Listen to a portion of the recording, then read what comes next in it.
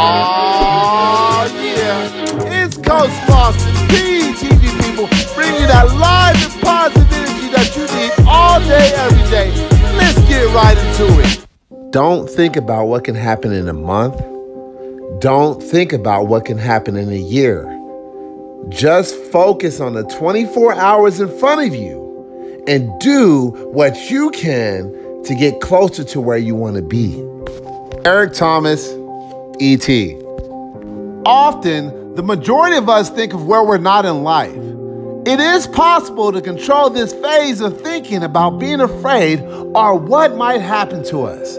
Instead, we are given an opportunity and a choice every day. We have to reach deeper into our inner thoughts and question ourselves occasionally. What motivates us? What inspires us to be great, to fulfill our potential? So, my challenge for you is don't think about what can happen in a month.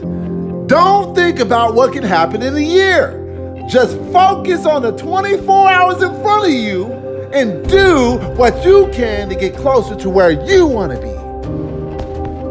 Which leads me to my next quote Appreciate where you are in your journey, even if it's not where you want to be. Every reason serves a purpose. I remember driving this kid to the basketball game in my Jeep, playing a little bit music. I looked over to the passenger seat and I said, Hey, kid, what is one thing you look forward to in life? I remember he looked right back at me, got a little bit silent, says, Well, I really don't know, coach. I said, Well, think about it. So he sat there in the passenger seat, started doing some thinking while I was driving, keep my eyes on the road. And he said, Coach, I got it. The one thing that I look forward to in life is waking up. I said, Waking up? I'm like, come on, kid, are you serious? Well, why do you look forward to waking up? Kid looked right back at me and said, Well, you know, coach, waking up is the first thing you do every day. And you just never know the day that you won't wake up. So, the one thing that I look forward to every day, coach, is waking up.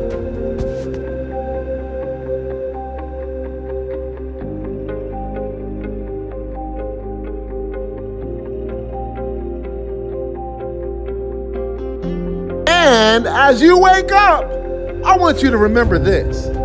Each new day is a new opportunity to improve yourself. Take it and make the most of it. May the force be with you.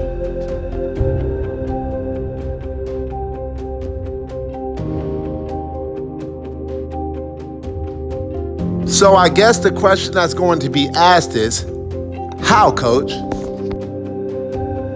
Now, imagine with all your mind and believe with all your heart and achieve with all your might.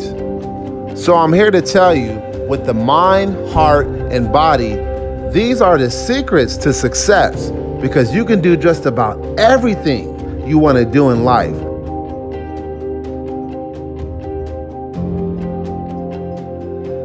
And once it is discovered,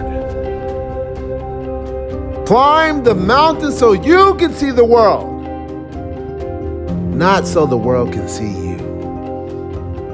David McCullough Jr.